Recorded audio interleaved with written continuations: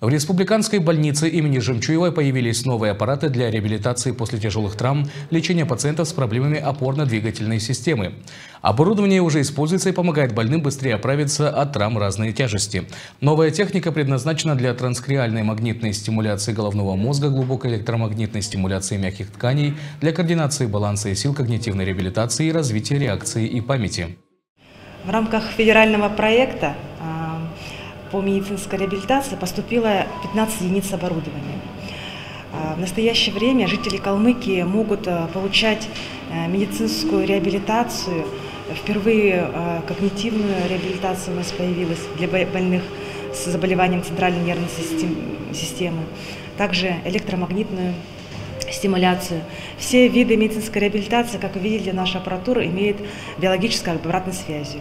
То есть все в виде игр, игровой форме пациенты могут э, наладить все свои функции. Мы хотим максимально э, минимизировать э, инвалидизацию пациентов. У нас есть три вида этапов реабилитации.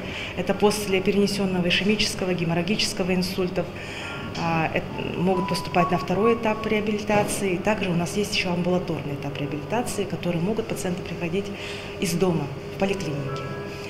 А, в большинстве своем случае а, эта аппаратура не имеет аналогов.